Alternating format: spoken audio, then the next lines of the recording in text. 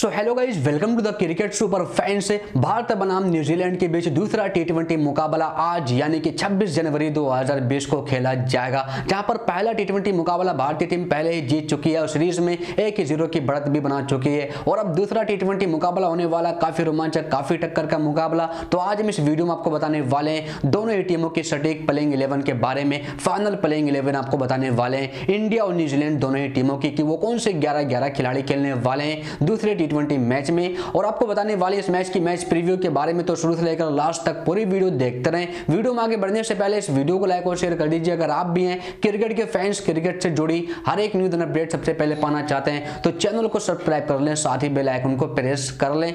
अब दोस्तों, अगर हम बात करें तो इस टाइम पर इंडिया वर्सेज न्यूजीलैंड के बीच पाँच टी मैचों की सीरीज़ खेली जा रही है, जिसके पहले टी मैच में भारतीय टीम ने शानदार प्रदर्शन करके पहला टी मैच छह विकेट से जीत हासिल किया था। और इस पाँच टी मैचों की सीरीज़ में भारतीय टीम एक ज़ीरो की बढ़त भी बना चुकी है और अब यहाँ पर दूसरे टी मैच में न्यूजीलैंड की टीम ज़बरदस्त वापसी करना चाहेगी। दूसरा टी मुकाबला जीतकर सीरीज़ में फ़िलहाल एक एक की बराबरी करना चाहेगी। तो वही टीम इंडिया दूसरा टी ट्वेंटी मुकाबला में जीतकर, जो कि सीरीज़ के फतेह की ओर और आगे बढ़ना चाहेगी। ऐसे में दूसरा टी ट्वेंटी मुकाबला काफ़ी रोमांचक का होने वाला है। अगर हम बात करें तो इंडिया वर्सेज न्यूजीलैंड के बीच दूसरा टी ट्वेंटी मैच आज यानी कि 26 जनवरी 2020 संडे को खेला जाएगा, जो कि यह मैच भी ऑकलैंड के डेन पार्क स्टेडियम में खेला जाएगा। और यह मैच बारह बजकर तीस मिनट से नहीं, बल्कि बारह बजकर बीस मिनट से स्टार्ट होगा, जो कि टाइमिंग में थोड़ी सी चेंजेस कर दी गई है। अब दोस्तों, अगर हम बात करें यहाँ पर दोनों ही टीमों की प्लेइंग इलेवन के बारे में तो चलिए सबसे पहले बात करते हैं न्यूजीलैंड की प्लेइंग इलेवन के बारे में। तो एज ओपनिंग बल्लेबाज के तौर पर नंबर एक पर होंगे ज़बरदस्त विस्फोटक ओपनर बल्लेबाज मार्टिन गप्टिल, जहाँ पर पहले टी मैच में एक अच्छी शुरुआत दिलाई थी न्यूजीलैंड की टीम को। नंबर दो पर कॉलिन मिंद्रो बेहतरीन विस्फोटक ओपनर बल्लेबाज, जो कि इन्होंने भी काफ़ी शानदार विस्फोटक की पारी खेली थी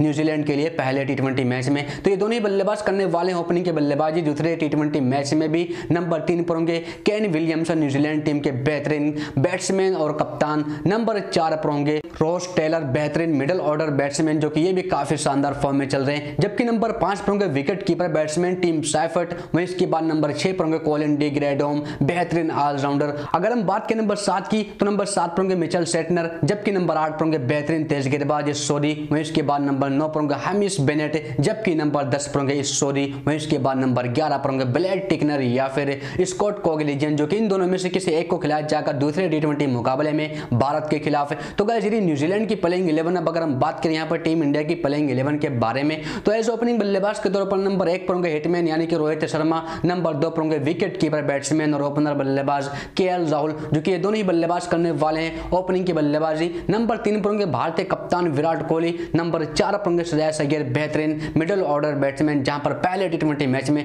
काफ़ी शानदार बल्लेबाजी की थी। अगर हम बात करें नंबर पाँच की तो नंबर पाँच पर होंगे मनीष पांडे, बेहतरीन मिडिल ऑर्डर बैट्समैन, जबकि नंबर छह पर होंगे बेहतरीन ऑलराउंडर शिवम डुबे इसके बाद नंबर सात पर होंगे रविंद्र जडेजा अगर हम बात करें नंबर आठ की तो नंबर आठ पर होंगे युजवेंद्र चहल, वहीं इसके बाद नंबर नौ पर होंगे बेहतरीन एक्सपीरियंस तेज गेंदबाज मोहम्मद शमी, जबकि नंबर दस पर होंगे जसप्रीत बुमराह, यॉर्कर किंग, वहीं इसके बाद नंबर ग्यारह पर होंगे नवदीप सैनी या फिर शार्दुल ठाकुर, जो कि यहाँ पर भी इन दोनों में से किसी एक को खिलाया जाएगा दूसरे टी मुकाबले में न्यूजीलैंड के खिलाफ। तो गाइस दोनों ही टीमों की संभावित, यानी कि प्रोबेबल प्लेइंग इलेवन और लगभग लगभग हंड्रेड यही प्लेइंग इलेवन होने वाली है दोनों ही टीमों की। अगर हम बात करें यहाँ पर टीम इंडिया के बारे में तो गाइस इस मैच में भी ऋषभ पंत को बाहर किया जाएगा। तो आपके हिसाब से दूसरा टी ट्वेंटी मुकाबला कौन सी टीम जीतेगी, इंडिया या फिर जीतेगी न्यूजीलैंड की टीम? कमेंट करके अपने राय, अपने विचार ज़रूर दें और आपके हिसाब से किस किस खिलाड़ी को मौका मिलना चाहिए और किस खिलाड़ी को बाहर करना चाहिए?